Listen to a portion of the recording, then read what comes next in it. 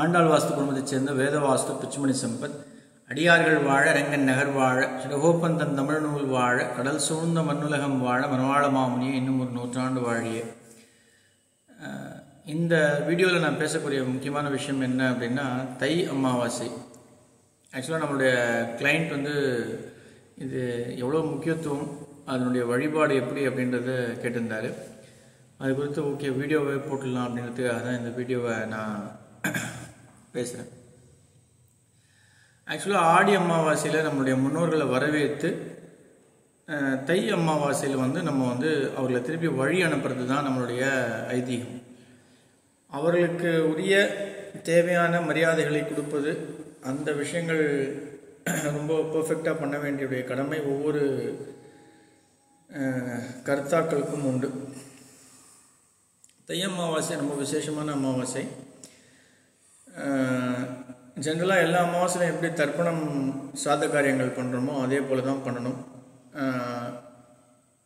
அமாவாசையில் எப்பயுமே ஜென்ரலாக வந்து நம்ம விளக்கு அப்படின்றது வந்து தர்ப்பணம் பண்ணாமல் ஏற்றக்கூடாது ஃபஸ்ட்டு தர்ப்பண காரியங்கள் முன்னோர்களுக்கு தர்ப்பணம் எள்ளு இந்த நீர் தண்ணீர் இந்த விஷயத்தை கொடுத்துட்டு தான் நம்ம வந்து அதுக்கப்புறம் நம்ம வீட்டில் இருக்கக்கூடிய பெரியவர்களுக்கு நம்மளுடைய வழக்கப்படி அவங்களுடைய ஃபோட்டோவை வந்து சுத்தப்படுத்தி அவர்களுக்கு பிடித்த உணவுகளை படைத்து அவர்களை வழிபடுறது ரொம்ப முக்கியமான ஒரு விஷயம்.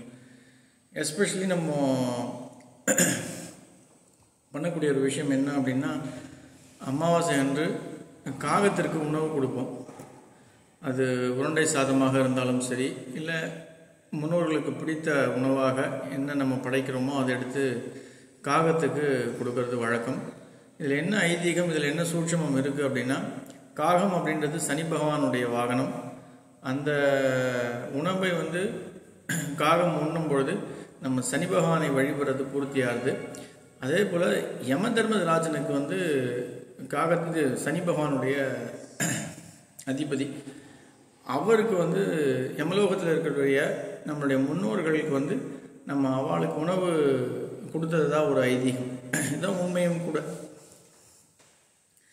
எப்பயுமே நம்ம வந்து நம்மளுடைய டெய்லி ரொட்டீனை ஆரம்பிக்கும் பொழுது நம்மளுடைய இந்து மக்களாகிய நாம் அமாவாசையில் மட்டும் எப்பயுமே ஒரு டிஃப்ரெண்ட்டான ஸ்கெடியூல் இருக்கும்.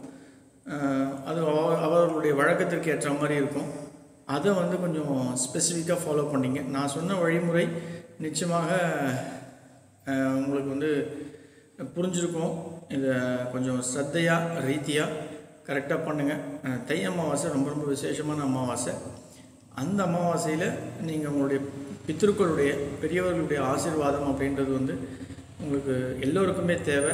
அவங்க குடும்பம் செழிப்பாகவும் செல்வ வளத்துடனும் இருக்க நான் வணங்குகின்ற ஆண்டாளையும் காமாட்சியும் வேண்டி இந்த வாய்ப்பை அளித்த பிரபஞ்சத்திற்கு நன்றி தெரிவித்து நன்றி தெரிவிக்கிறேன். ஆழ்வார் ஆச்சாரியன் எம்பெருமானார் ஜிய திருவிழிலே சரணம் ஆண்டாள் சொக்கலிங்கம் திருவிழிலே சரணம் சரணம் சரணம்.